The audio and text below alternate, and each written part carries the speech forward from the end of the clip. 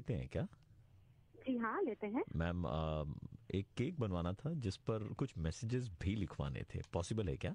जी जी sir बिल्कुल possible है। तो मैम केक पर लिखना है happy birthday RJ Praveen. Sir okay sir लेकिन ये केक आप कितने इसका लेंगे? मतलब one pound two pound ma'am one pound का केक और उसमें और एक मैसेज लिखना है। जी। लिखना है? सर, आरजे प्रवीण मतलब क्या वो रेड एफएम जी। के आरजे प्रवीण? जी मैम जी सही। ओके ओके ग्रेट मैसेज में आपको लिखना है तेरी तो ताश में भी बेगम नहीं आती ये केक के ऊपर में लिखना है। जी अ, ये केक के ऊपर में लिखना है आपको? जी हैप्पी बर्थडे आरजे प्रवीण फिर लिखना है तेरी तो ताश में भी बेगम नहीं आती।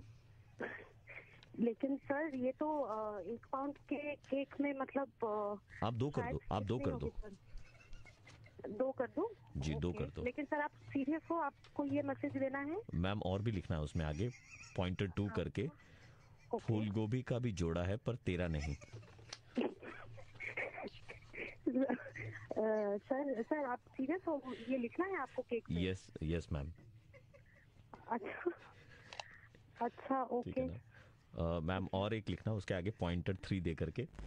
तू इस साल भी डबल बेड पे सिंगल ही सोएगा।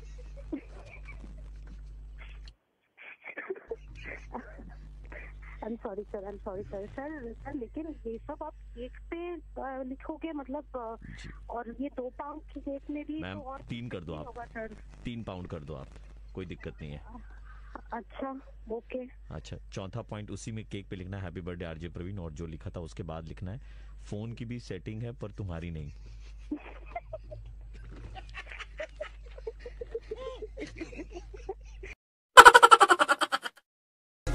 Candy, clean out the macho like Randy. The chopper go out to